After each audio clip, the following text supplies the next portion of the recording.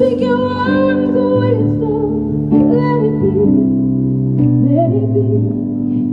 And in my hour of darkness, she is standing right in front of me. Speaking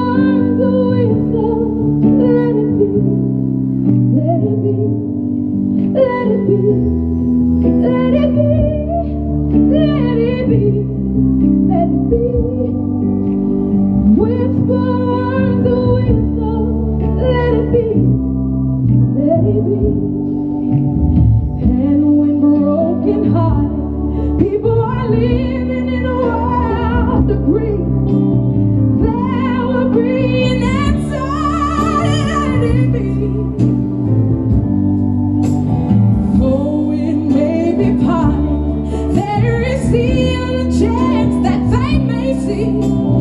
There will be an answer. Let it be.